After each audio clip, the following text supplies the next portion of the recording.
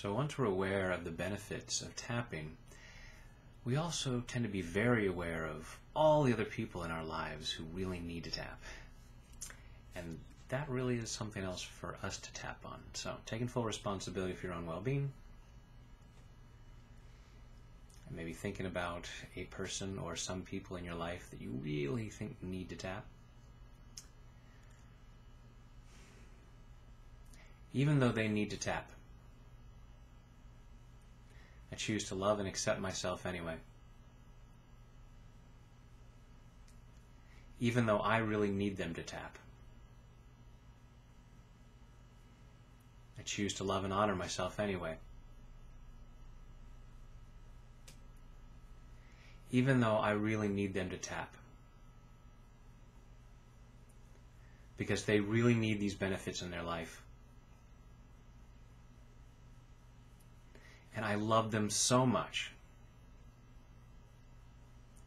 that I need this to happen. And even though I need them to tap,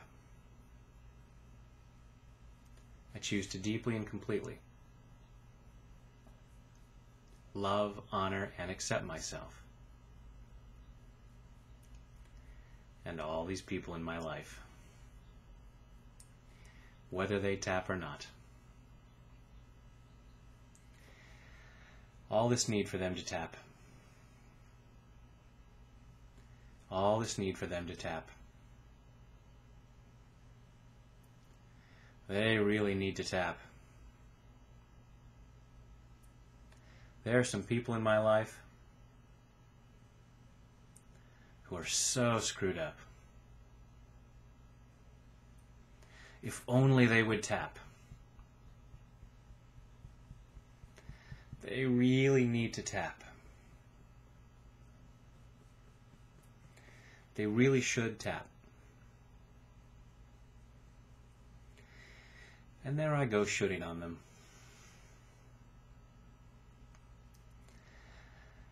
and I choose to clear my need to do so.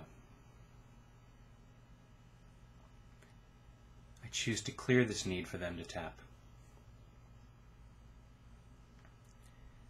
I really want the best for them. My intention is loving. My intention is caring. But the more I need them to tap, the more stuff I need to tap on.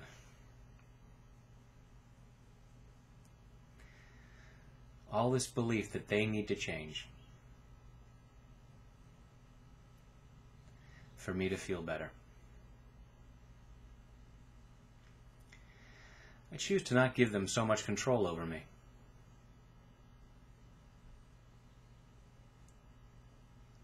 Why should my peace of mind depend upon them tapping. It's okay for me to want the best for them. And as I clear my stuff and allow myself to have the best life possible, they might feel more compelled to tap. and that's their choice. I'm clearing what doesn't feel like love, and I'm holding loving thoughts for them. And I'm leaving it to them to figure out what's best for them.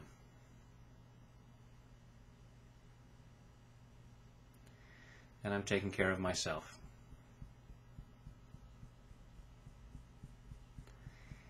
Allowing myself to feel as much peace and love as possible. In body, mind, and spirit. Take a deep breath.